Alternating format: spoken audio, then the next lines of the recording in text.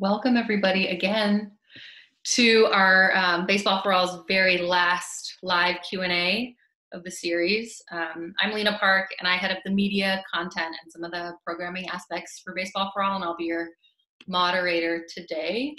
Um, you know, this is our very last Q&A and we thought it would be fitting to end with the woman who started it all um, for us, and that's the one and only Justine Siegal. Um, you guys all know Justine as the founder of Baseball for All, um, but she's been blazing a path for girls and women in baseball for decades now. Um, she's the first woman, for, for those of you guys who don't know, she's the first woman to ever coach a men's professional baseball team which was with the Brockton Rox in 2009. Um, and then from there, she's also the, uh, just two years later, she was the first woman to throw BP for an MLB team, which I just found this out today too, which was six different teams. It was the Indians, Rays, Cardinals, Astros, A's, and Mets, Rays and A's. Um, and then from there, she was the first woman to be hired for an MLB team, which was in 2015 when she took a coaching role with the Oakland A's during instructional league in Arizona. And fun fact for those of you guys who don't know, that jersey is actually now hanging in the Baseball Hall of Fame also. Um, she's also coached around the world with Team Israel, with several teams in Mexico, South Korea, Japan, and beyond. Um, you know, now she's focusing her efforts on Baseball for All and providing more opportunities for the next generation of girls and women just like you guys um, and leading the way to help pursue their own pursue your own dreams of playing coaching and leading in baseball um, she's the woman behind it all and we're also happy that you're joining us today justine thanks for thanks for doing this thank you i'm very nervous it's been quite a lineup that we've had with this zoom webinar so i'm very excited to be with you and um, happy to share my story. Absolutely. And I mean, if, don't be nervous. I mean, there's there's all these happy, friendly faces that you all that you all know. Um, so it's like a little family reunion right now. Um, so yeah, uh, we will just go ahead and dive in and get started. Um, the first one's going to come from one of our junior captains, Kate, who is from Southern California. Kate, go ahead. Uh, hello, my name's Kate. I'm 13 from Southern California. Was there any pressure on you for making all girls baseball organization? Yeah, amazingly, um, not everyone was for it. And so I would get emails that were, you know, were not very kind, or, you know, I, I was called the devil by somebody. So um, but I've had much more support for girls playing baseball. So uh, it's been very exciting that since Baseball for All uh, started, that MLB has now gotten involved uh, with their events. So it, it, really proved that there was a lot of girls out there who wanted to play baseball with other girls. And I knew that that was the case. So it was hard in the beginning, but it's not as hard now. Everyone gets it. All right, thank you, Justin. Cool. Uh, the next question is going to be coming from um, Leah, who's also 13. Go ahead, Leah. Go ahead, Leah. Um, first, I just want to thank you for everything you do for all of us. Um, where was the view for girls in baseball when Baseball for All started, and where is it now? Uh, that's a good question. I think you know at the so I started 20 years ago by putting together a girls baseball team that played in Cooperstown at Dreams Park. So I think that's really important. Is the first thing I thought about was because in the U.S. there wasn't any girls programs except for in Pawtucket with the Slaterettes, but they didn't have any interest beyond going past their town. So I thought, you know, what if I started a girls baseball team and then we played the boys? And if we're going to play the boys, why not Cooperstown? So it started with a girls' team, and then I realized that if I could start a team, then I could teach another parent how to start a team and another community how to start a team. And that's why in 2015 we held the very first national girls baseball tournament uh, for girls who are 13 and under. So it, I wanted it to go from more than just one team playing the boys to girls getting a chance to play with other girls. Um, and so that's kind of where we are now. We run girls baseball events. We support co-ed baseball, which most of you guys play with the guys as well.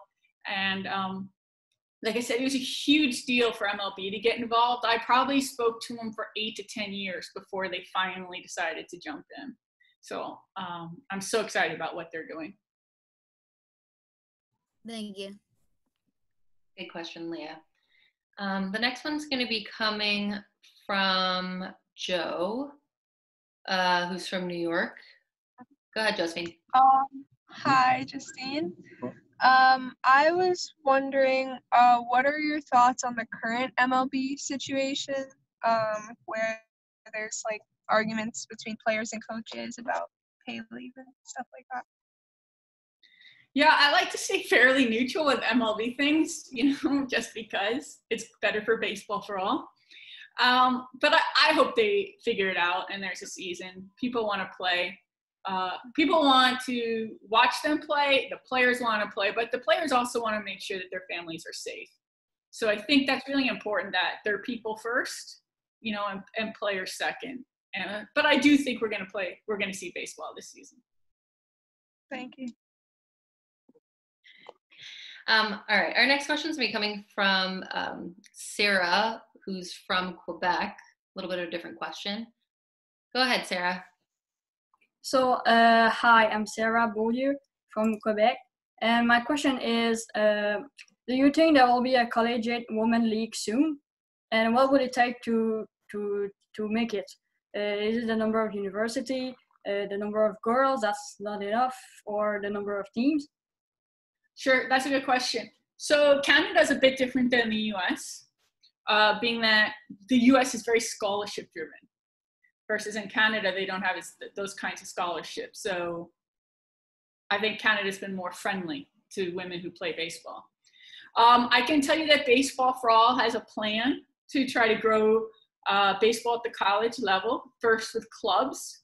So if you're a college student, you could start a club, and then we would help you make that schedule, help you get your uniforms, and um, then you could play one another. And once we do that, once we have about 12 to 14 teams, you know, in a certain area, then we can start talking about making it an official uh, college sport. But that's all how ice hockey started, bowling, is that they had this first show that there was a demand and that it's possible, and then the NCAA took them in. So it's definitely on my radar because I know you all want to play college baseball. And you can right now with uh, many colleges will take a, a woman, but I know that you would love to see college women's baseball, and so would I. So I definitely think that's going to happen. Well, thank you. You're welcome. Good question, Sarah. Um, our next question is going to be coming from Olivia, who's from um, New York also. And just a reminder, you guys, I know that Justine knows a lot of you, um, but just uh, reminder of how old you are and things like that too, um, just in case. Go ahead, Olivia. Um, hi, I'm Olivia and I'm 16 years old. So my question for you, Justine, is um, if you could go back in time, what would you do? Would you do anything differently? Or if not, then what advice would you give to your younger self? I go back in time as a player. I'm just, yeah, Okay, so I, like I just making the decisions. Yeah. Yeah. So I would say my first decision came when I was 13 because that's when I was first told I should quit baseball uh, because I was a girl, and I decided not to quit and to keep playing. So it was much more difficult. You know, honestly, there's two things I would do. One, I realize I would be less shy. So I would I would say that uh, boys aren't as scary as you think they are, or at least I thought they were. You know, I had uh, I was pretty shy in the dugout, and I didn't think I needed to be. So I, I would love to have the confidence I have now and put that back in my 14 year old self. And then the other is I put so much pressure as the only girl. So they think I'm the first girl to play high school baseball in my state. And of course, like you, I was always the only one in my league. And I just felt like every time I struck out, like I failed all girls, which is just not fun. And it's also just not true. So we can't play like that anymore. You know, I always tell girls, you can't play with that kind of pressure. You can only do the best you can, represent, you know, the best you can with your hustle. All you can really control is how hard you work. So um, those are sort of the two things. One is to be a little less shy, realize that people aren't as scary as I thought they were, and uh, to, um, you know, don't don't wear it all on your shoulders. Have some fun. Okay, thank you. It's definitely uh, from the question before is that it's definitely possible for girls to um, play collegiate baseball, especially because I got um, at least one offer from like a local city school, so it's definitely possible. Yep, congratulations. And we are getting some coaches asking us, are there any uh, young women who want to play at college? So keep going after that dream if that's what you want to do. Thank you. Nice job, Olivia. And yeah, I mean, um, you know, for those of you guys who don't know um, or who don't follow us on social, you know, there are young women who are playing college baseball right now at the D3 and um, NC, NCJA level. Um, uh, there, there are a couple women that are doing that right now. So definitely, if you're interested in playing college baseball, um, it's yeah. And um, Oz Sailors are a mem- board member of Baseball for All. She didn't just play college baseball; she was captain of the team. So can definitely be done for sure. Um, okay, our next question is be coming from Alexia, who is from Ohio. Alexia, go ahead. My question is, why did you want to be a general manager for the like the boys team? Yeah, I wanted to coach. Um, I decided when I was 16 that I wanted to become a baseball coach and coach at the college level. And um, it's because I loved the game so much, and I realized I wasn't going to play professionally uh, with the men, but I thought, hey, I could become a coach. So at 16, I started, you know, coaching at kids camps and, and working my way. And I got a PhD in sports psychology to sort of help me uh, qualify. I call it a tool in my toolbox education. So for me, it was first because I loved the game. But now, as I grew older, it was really because I love helping people reach their goals. And I love working as a team. Okay, thank you. You're welcome. Thanks, Alexia. Um, the next one's me coming from Rosie from Chicago. Rosie? Um, hi, I'm Rosie. Um, since you were told that you couldn't pl- play baseball at such a young age, how did you handle it, and did you still have passion for baseball when you after? Yeah. Um, how did I handle it? Well, I did take a lot of pressure and I put it on my shoulders, but mostly I just didn't quit. I mean, I was someone who slept with my bat next to my bed because I'd wake up and want to swing. You know, Friday night, you'd see me at the batting cage. My favorite time of the week was going to my pitching lesson. Um, so I remember the times when I really loved the game, and that that helped me when there were some really bad parts. You know, my best friend, one of my good friends, I wouldn't say best friend, but one of my good friends in high school, he was on the team. He said it was against God's way that I play baseball. And that's from my friend. so you got to wonder what everyone else was thinking. Um, but when you're determined, the only person who can tell you to quit is yourself. You know, I didn't have to follow anybody else. I just had to keep finding another way through the wall. I love all the shirts everyone's wearing. I thanks for everyone who came out with their BFA gear or their events. It's awesome. Girls events. Way to represent you guys.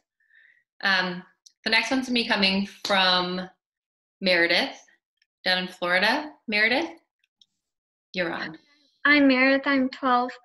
What pushed you to start Baseball for All, and did you ever doubt that it would evolve into what it is today? Um, that's a good question. So the first thing I did was, well, I had my daughter Jasmine, who was going to be on this call, but then she decided to get her bike fixed instead. but uh, I had my daughter Jasmine when I was 23, and I was still in college. And when I looked at her, she's just a little baby. I mean, I remember the moment like it was yesterday, and I thought, if she wants to play baseball, I want to make it possible. And I don't want her to have to fight for it and face the discrimination that I faced. So I started thinking, how can I start something better for the future? And I first started a women's baseball league in Cleveland. And then I tried a semi pro women's baseball team. And then I realized really the future's in the girls. And that's when I decided to start the Sparks, which was the 12U team that went to Cooperstown Dreams Park and went for 13 years.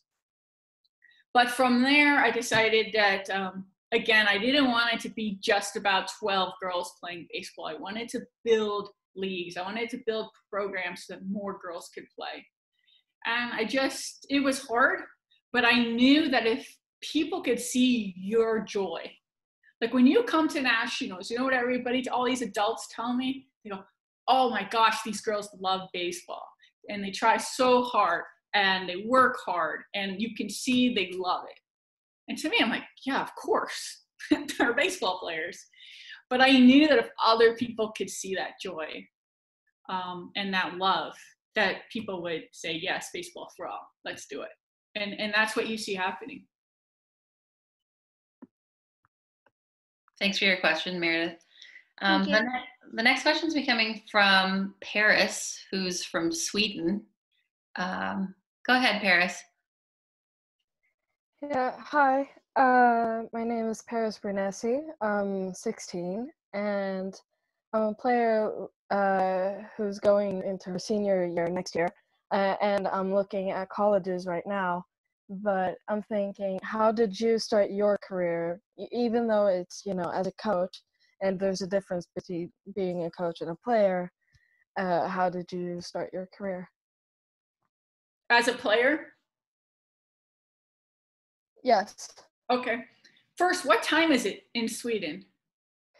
It is uh, 20 past one in the morning. Oh my gosh. Did you go to sleep or did you just stay up? I just stay up. Yeah, you just stay up. I'm in bed at nine um, first, um, I, you know, um, the European Baseball Council used to have a rule that girls could not play baseball past the age of 15. And France, their national team had a girl who's shortstop. She was shortstop. So in one year, she was not going to be allowed to play anymore, not because of her ability, but because of her age. And so the French Baseball Federation flew me to France, and I, I made the plea that girls should be out, allowed to keep playing. They changed the rule. Uh, you know, may have heard of Melissa Mayeux, who is the first woman to be um, in the international MLB's international draft. Um, and then once France made the change, the European Union changed so that girls could keep playing. Thank goodness. So it's very exciting for me to see someone who's actually now playing in Sweden and is part of that, that European Council. Um, I started playing t-ball. So like a little kid, I was just a little tiny kid. And I just kept playing baseball in my neighborhood on the leagues. And then I went uh, and I played high school. At first my high school wouldn't let me play. And then i pitched against them at a camp. And when i pitched against them i did so well i uh, hit it was the third fourth and fifth batter and none of them got on base and the ball didn't leave the infield. So when i went back to them i said can i try out and they said yes so it's never been easy and then I specifically chose a college where, you know, everyone was allowed to play, except for when I got there, they decided that they ran out of uniforms, which is really sad. But and I didn't know then I could fight for my rights. Um, now I know, and now we help girls all the time fight for their rights at their school. Um, so I played in men's leagues. I played in a lot of men's leagues. I was often the first woman to play, but um, I was a pitcher mostly.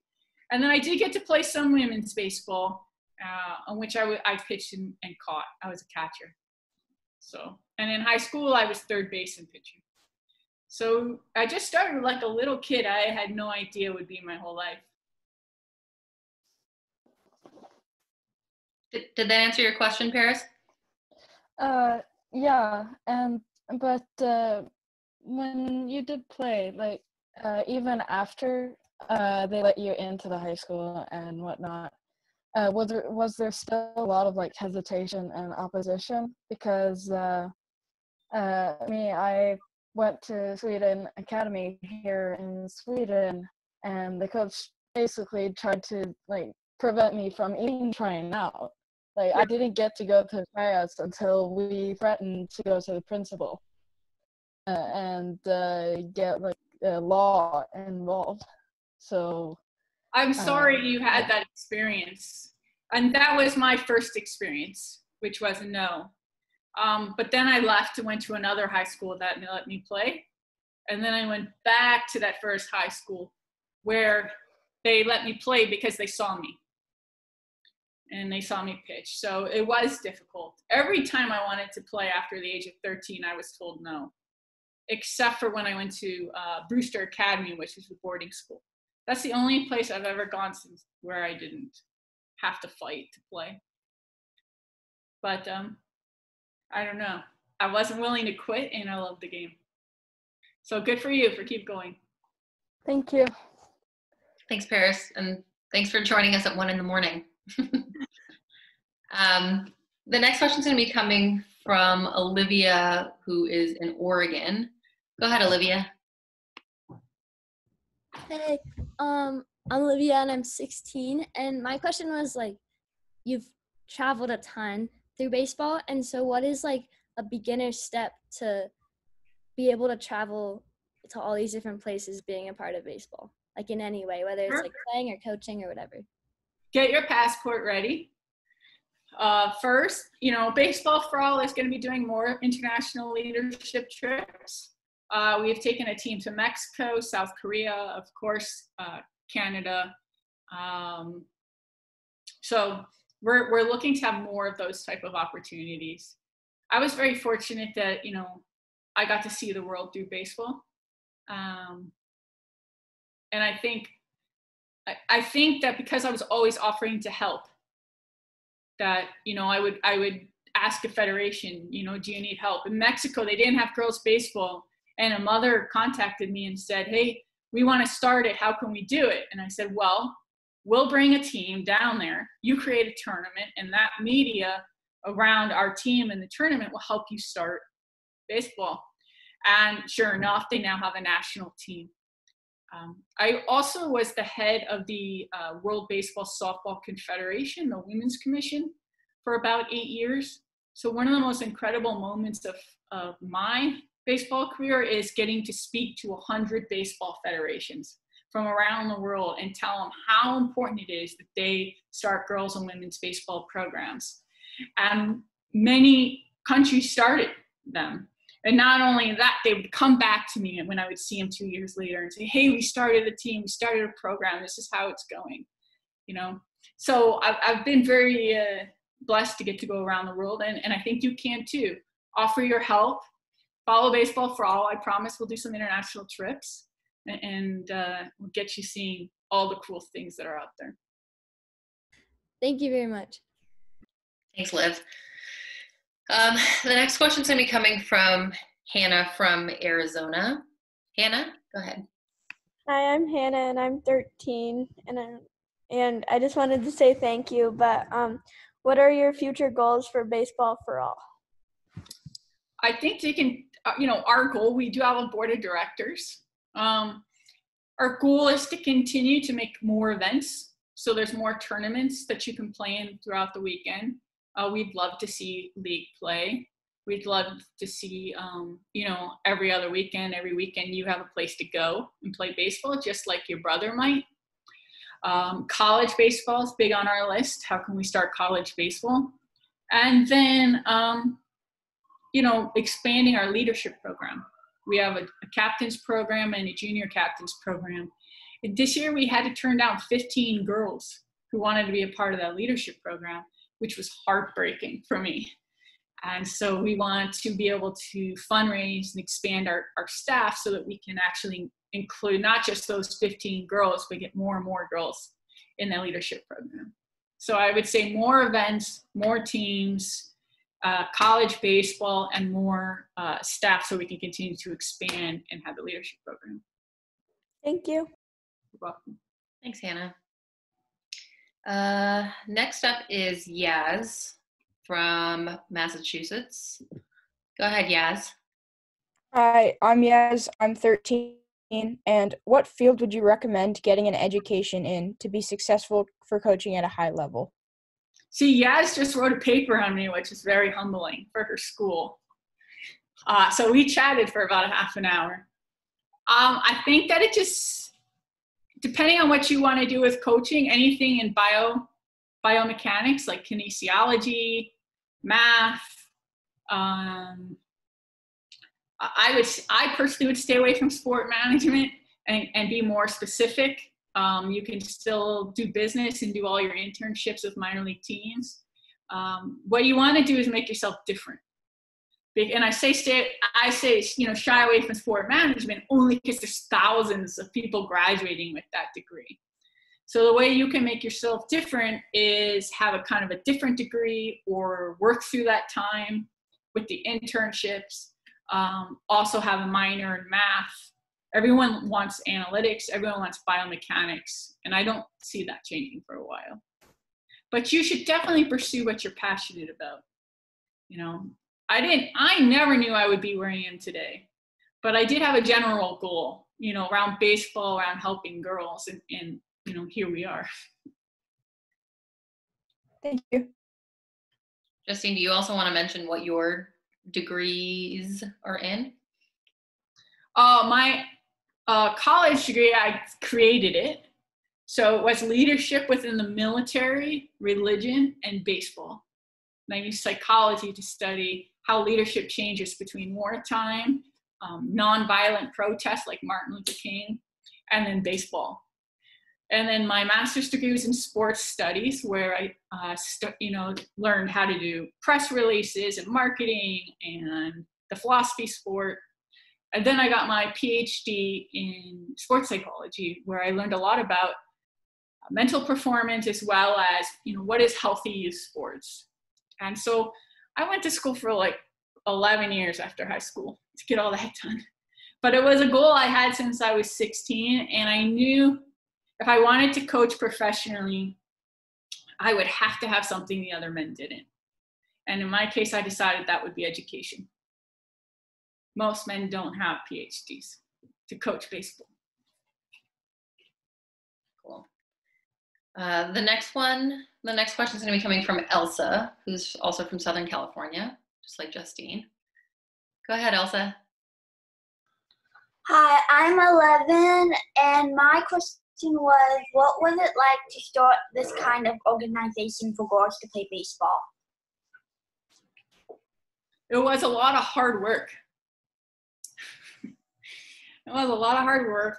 Um, I learned a lot of, about leadership, about, I made m- many mistakes, um, about how to work with other people and identifying like how board members, why they want to be on a board, what motivates them learning how to communicate effectively. Um, but all of it's worth it because I get to see you girls. I mean, none of this would be worth it if if the end hadn't been you. Um, it was, you know, to, to have all the pain and difficulty that I've gone through, and then to see you girls go on the field and get to just let your hair down, so to speak, and play baseball and not be the girl and just have all these teammates that love you and you're friends with. I mean, that's what makes it worth it. Thank you. And you're 11. So I'm going to embarrass my friend because I have a friend on this call who I met when I was 11. And we're still friends. So, Dee Dee, where are you? Say hello to everybody. She might be on mute. Yeah, she has to get off. Where are you? I can't see you. Oh, Put I'm oh, here. Oh God, you want my video too? Yes, they want to know that they'll be friends with these girls. They're friends now, later. There, see? Hey guys. You never know who's gonna be your friend for life when you're 11 years old. Yeah. So, thanks, Dee, for being on. We had a paper route. We oh both oh my gosh. 5:30 in the morning when we were when we were in middle school and delivered the paper we were not morning people, but we had paper routes. Thank you. Yeah.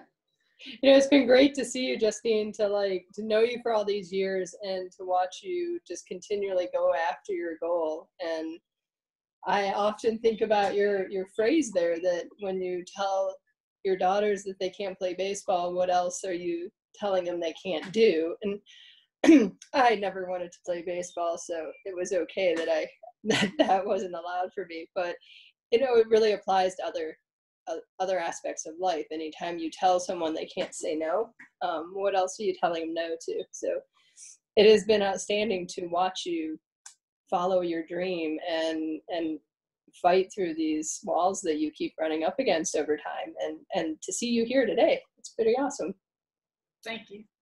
So you see, you can only get through it with your friends. You know, Yeah. you're no longer alone. And that was something that was really important with Baseball for All. I started because I felt alone. When I was your age, I felt alone, like no one else in the world played baseball. I was the only girl. And now you know you're not alone. So now you have all these friends to stay with. And we have found that girls are staying in baseball longer because of the friends they've made through Baseball for All. Thanks for joining us, Dee Dee. Um, the next question is going to be coming from Tori, who's from Connecticut. Go ahead, Tori. Hi, I'm Tori. I'm 16, and um, I wanted to know what is the biggest psychological struggle or problem that you face um, throughout your whole entire experience with baseball, whether it's playing or whatever it may be, and what do you recommend to help like push through any psychological struggles or um, like confidence downs or anything like that to get through? Okay, that's a hard question.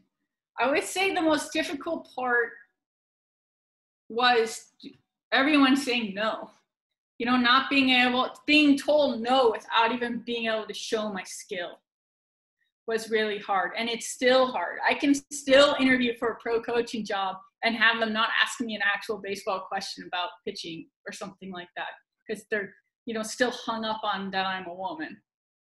Um, but I think I've gotten through it because, well, when I was young, because I was just stubborn and determined. And, and the more someone said you couldn't do it, the more I loved baseball, the harder I was going to work.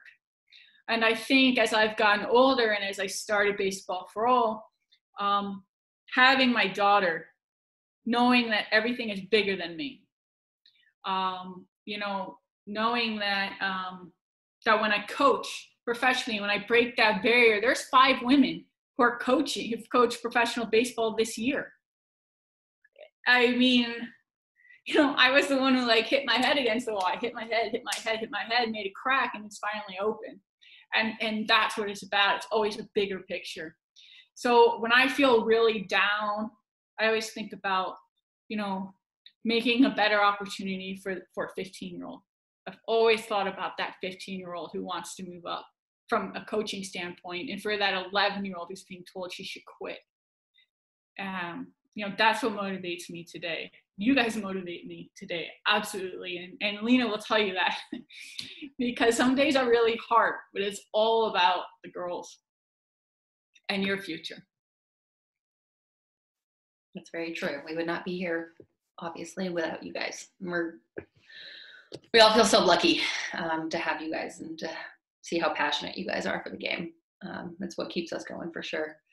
Um, thanks for your question, Tori. Uh, the next question is going to be coming from Caitlin, who I believe is from Arizona. Caitlin? Hi. Okay, so uh, I'm currently reading this book called Out of Left Field. Uh, it talks about the challenges of um, um, women in the 1950s playing baseball and the challenges they face. Uh, what are the challenges that uh, you see for women that want to play professional baseball No. now?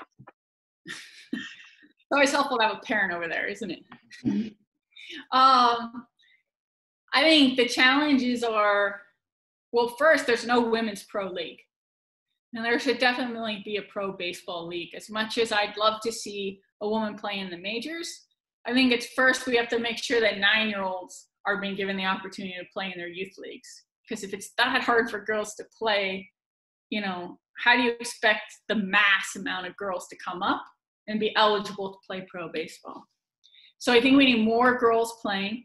We need more developmental opportunities like college baseball. And um, I, I don't see a reason why a, a woman can't play professionally now with men, um, especially as a pitcher. Because as a pitcher, your whole job is deception, which means that you have to change speeds, change location, change your pitch, and all of those things are possible.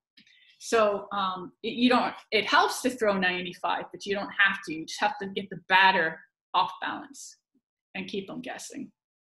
So I am sure there will be a women's pro league in your lifetime, and hopefully by the time you turn 25.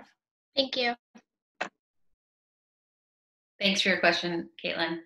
Um, our next question is going to be coming from, sorry, one second, um, is going to be coming from Rebecca, who's from Georgia. Rebecca, go ahead. Hi, I'm Rebecca. I'm 16. You, you know me. Um, and I was wondering, as girls' baseball is developing on a local level, like in city areas, and towns where there's enough interest to start girls teams but not where there's some girls but not enough for a league especially in areas where there's not enough space for there's not the financial resources to travel every weekend um, do you think it's better for girls to be playing all of the girls on one team against the guys teams? Or to especially i'm thinking like at the little league level here or to have some girls on each team to sort of normalize the concept to the boys as well? Sure, I've never been asked that question, um, but I would say that league should should put the girls on one team when they're like six and seven. You know, get them through that hump so they don't leave for softball, and let them go get their orange slices and ice cream. Um, and then I would love to see more co-ed teams as they get older. So I would like to see more of those girls stay in the game. So if you had a whole team of girls of 10 or 20, and then you can distribute around. So it's more co-ed baseball, and you'll see the climate change, the environment change. And I think that um, those girls will be really welcomed. And to be honest, I have a small secret, which is that I would love to see Baseball for All one day do a co-ed tournament in which the boys and the girls play together. Because I think that's ultimately what kind of girls want is just to be respected.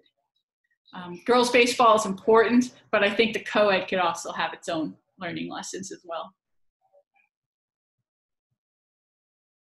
That is interesting. Thank you very much. Thanks, Rebecca. I don't, know I don't know how to respond to. Is that a bad answer? no, I just well, I wanted your opinion and I got it. And that's interesting. That's the point, right? I think co ed sports is really effective, but I think uh, you have to remember when I was a kid, I was the only girl playing on my soccer team. And um, once they started girls soccer, more girls played soccer. And that's why it's so important to have girls baseball because more girls will play baseball. Some girls won't care and will always play co ed baseball, just like I would have played co ed soccer forever. But a lot of girls won't stay in the game if they're not getting a chance to play with the other girls. Plus, you need girls baseball to get into the college and the Olympics and so on to move forward. So the question, so the answer is yes and. all right, that'll be your dissertation. um, all right, the next, the next one up is going to be Olivia, who well, Olivia's on today. Olivia, who's from Northern California. Olivia, you still there? Yeah. Um, so my question is, what was the lowest point or hardest point of starting baseball, and how did you grow or learn from it? Or both?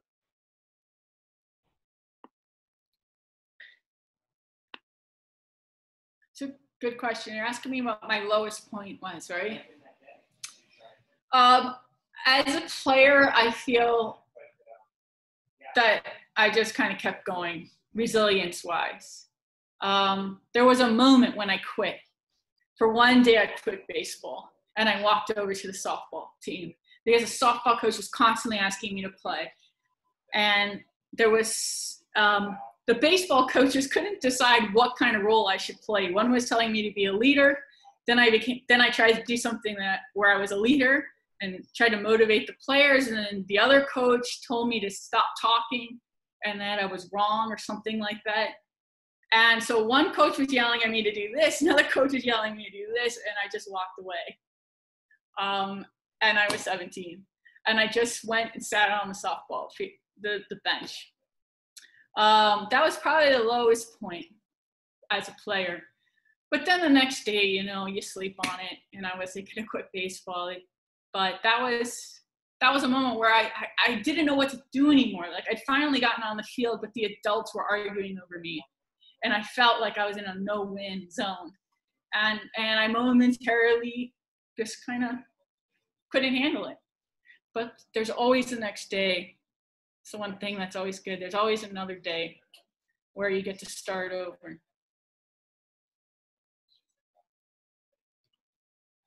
Awesome. Thanks for your thanks for your question, Olivia. Um, the next question is going to be coming from Ashlyn, who's from Canada. Ashlyn, go ahead.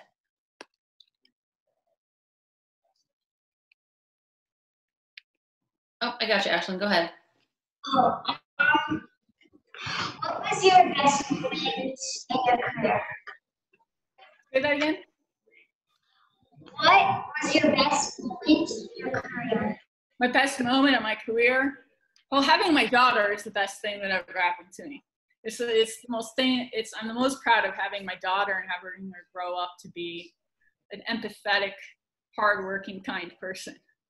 Um, but coaching for the A's, that was it, right? You walk in and you've got your jersey and your number and your locker, and you're surrounded by baseball players and coaches. And then for that to go in the Hall of Fame, I mean, baseball wise, it doesn't really get better than that. When we had our first nationals with the girls, I had to fight back the tears while I was doing the announcing with the parade you get to see all these girls who wanted to play baseball. Um, that was incredibly touching. Thanks, Ashlyn. A nice hat, Ashlyn.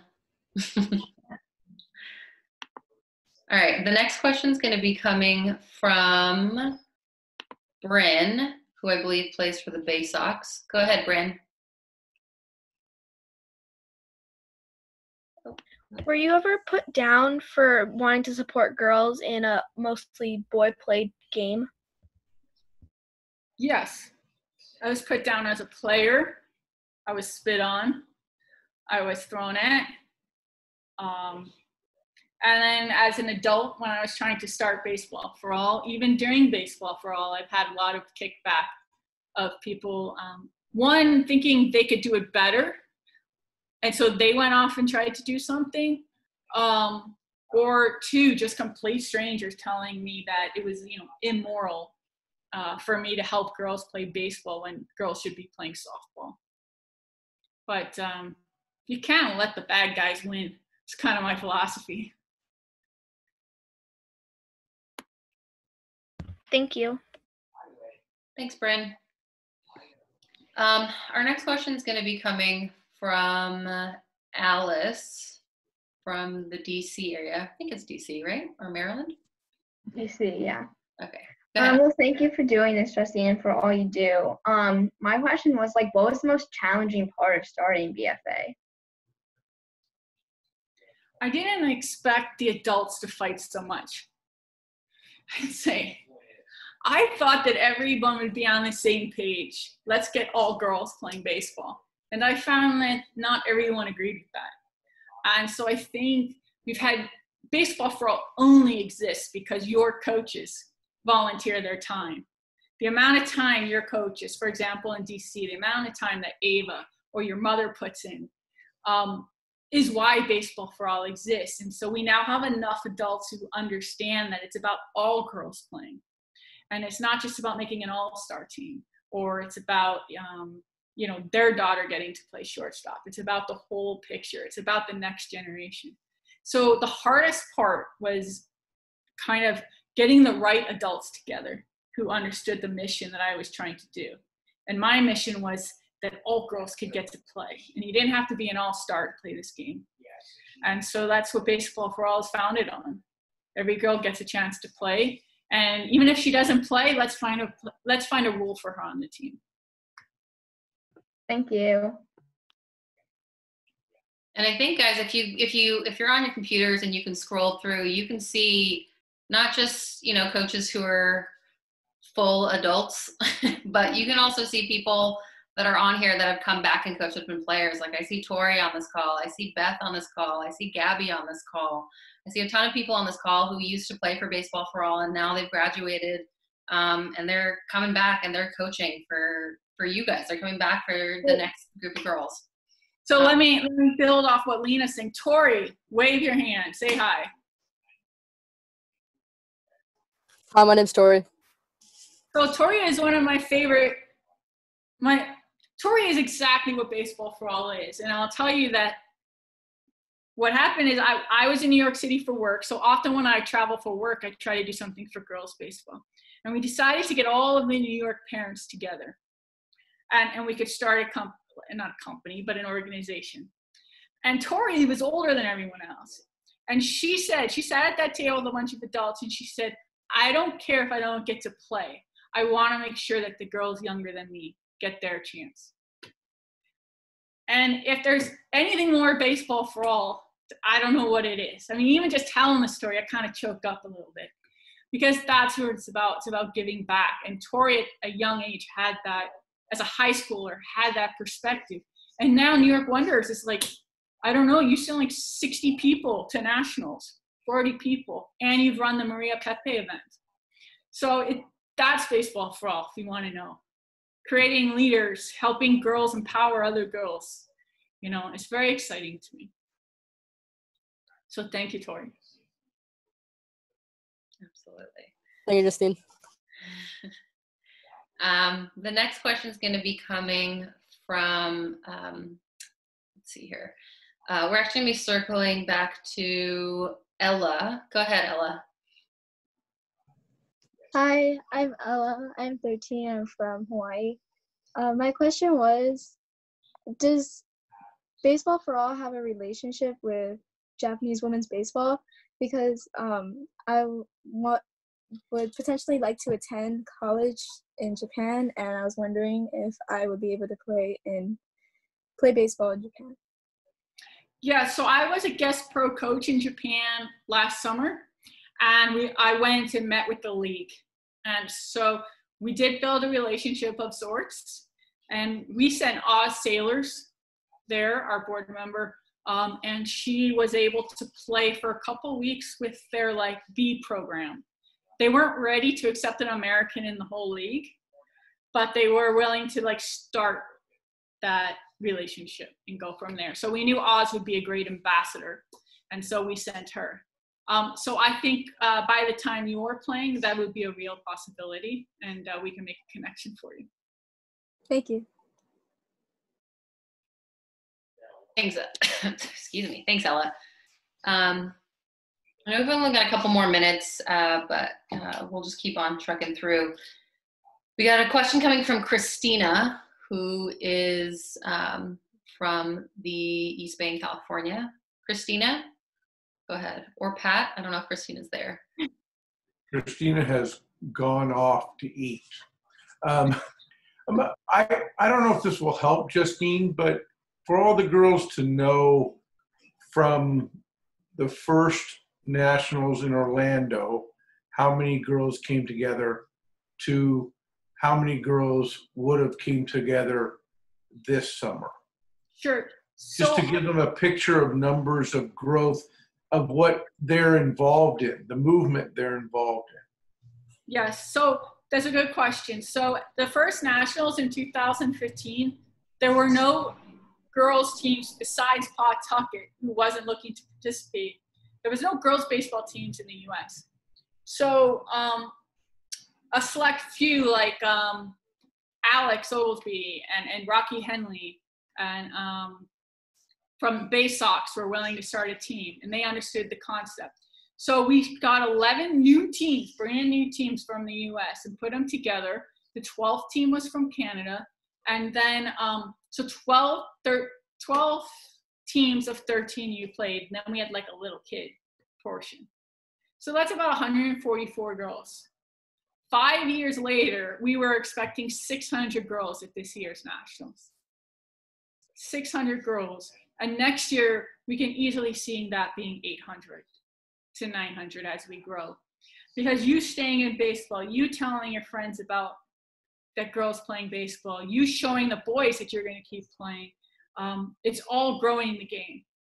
And so the more events we can have, the more girls are going to play. And and like as Pat said, there was there was 140 kids, and um, those girls are now, I believe, seniors this year. So it's pretty exciting.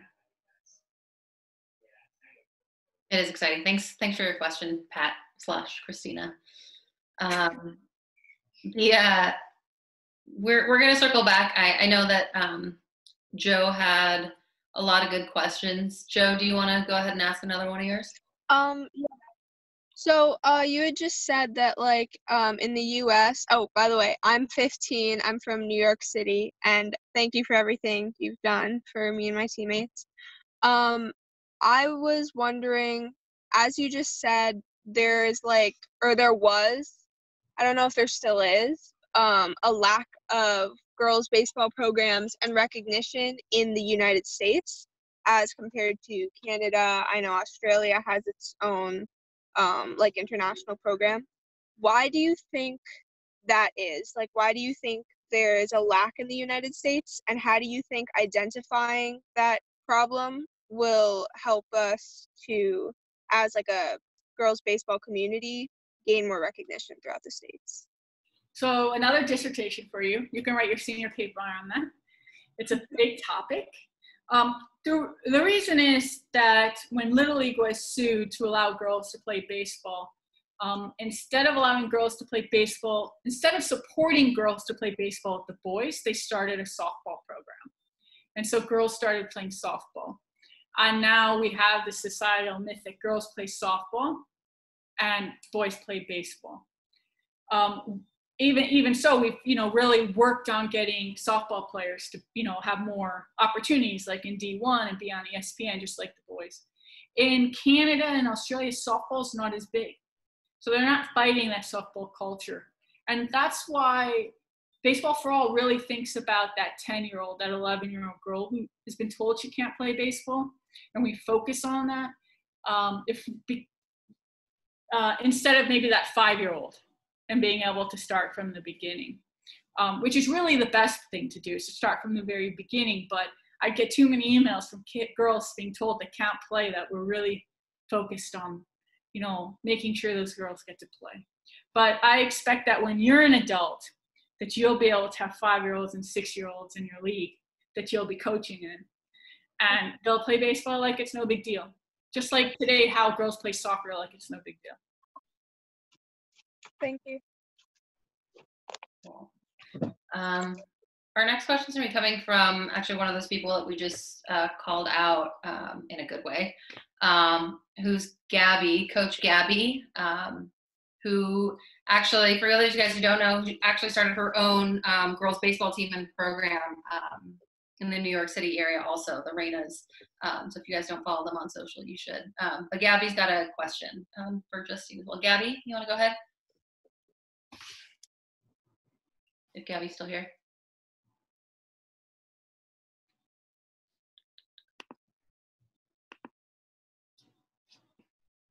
We'll come. We'll come back to you now that I've hyped you up. Um, we'll come back to you. Uh, um, I think our one of our last questions is going to come from Olivia Lockhart. Go ahead, Olivia.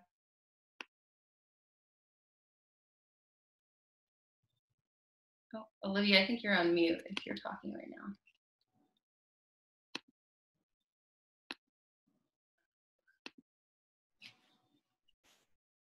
Yep, go ahead, Olivia. Okay, Olivia, I'll ask your question for you. Um, the question she has is, how do you feel when people tell you that girls can't play baseball?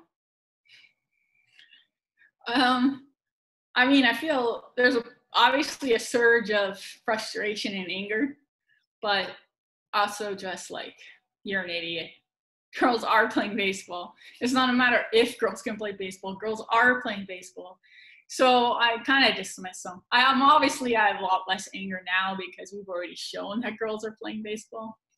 Um, but we can prove it. Over 100,000 girls are playing baseball, and we know we can continue that number all the way up. In fact, recreationally, there's over a million girls and women who are playing baseball who will pick up a glove and start throwing the ball around. Perfect. Thank you. Um, Justine, we're just about out of time. Is there anything else that you want to say to everybody who's here, who's tuned in for final BFA Q&A? I'd like I'd like to end with a story, if that's okay. So when I was 20 years old, um, I went to Venezuela, um, and one of the sports I played there was baseball. And we went up into this village up in the mountains where the kids ran around with no shoes. And our team went out there and we played a 15 year old team, and, and we were like 19 and 20. And we just got crushed. Our, I mean, you can imagine the Venezuelans beating us. They had a baseball field. It's the smallest village, but they had this beautiful baseball field for the kids to play on. And I happened to pitch, and I pitched really well. I pitched one inning, and um, I struck out a guy. And so afterwards, a lot of people wanted to come up and talk to me because it was the first time they'd ever seen a girl play. And at the end, as I was walking back to the bus, a father stopped me and he said, My daughter asked if she could play baseball, and I told her no. But now that I've seen you play, I'm going to let her. And that was the moment I realized that my playing baseball could be bigger than myself. And that's what switched my thinking that I could help others do a game that I love. And like Tori did, and like Gabby is, and like Justice, who's come back and helping lead her. All of you are capable of taking this game that you love with everything you have and making our world better. And I think helping someone else is really the greatest privilege you can have. And being a part of Baseball for All, being a part, being a part of you, your lives, seeing someone who's nine years old who's now on Team USA. I mean, that's really what it's all about. And not just being on Team USA, but just growing up and becoming these incredible people who are like you, bold and willing to go after what you want and don't let anyone tell you no and that you're perfect as you are. Doesn't matter what clothes you wear or what your hair looks like or if you have makeup or if you play softball or if there's a bow in your hair. You're perfect as you are now. And that is what I want you to know. And at Baseball for All, we're a family. So whether you want to be or not, you're stuck with me. I expect some wedding invites, some college graduate parties. You know, I want to see you. I want to see you all the amazing things you're going to do. So thank you so much for being with us. Thank you to Lena, who is amazing, running everything with Baseball for All, and for being a part of our webinars for this spring. Um, and hopefully some of you can come out to nationals here in December uh, in LA, and we'll keep playing.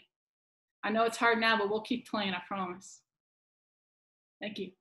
Thank you. Thanks so much, Justine, for everything that you do and for being with us today for this hour. Um, it, I think this was I think this was really good.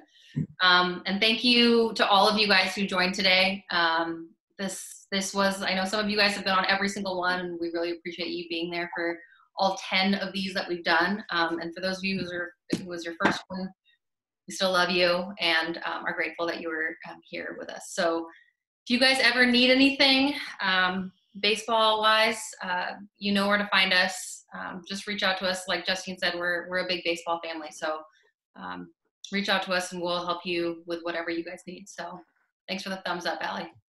We appreciate it. All right, guys. Thank you guys so much. Stay safe. Thanks for tuning in, you guys. We'll see you guys soon. Thank you.